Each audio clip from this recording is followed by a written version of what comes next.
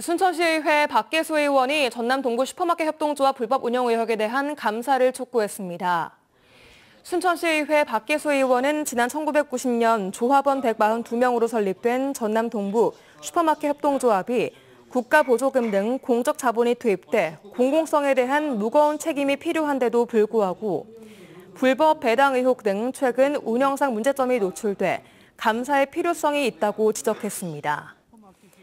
박 의원은 또한 최근 의회에서 의결한 전남 동부 슈퍼마켓 협동조합 감사 촉구 건의안을 감사원과 권익위, 중소벤처기업부, 국세청 등에 송부해 제기된 의혹에 대한 진실을 밝히고 바로잡을 수 있도록 할 계획이라고 덧붙였습니다.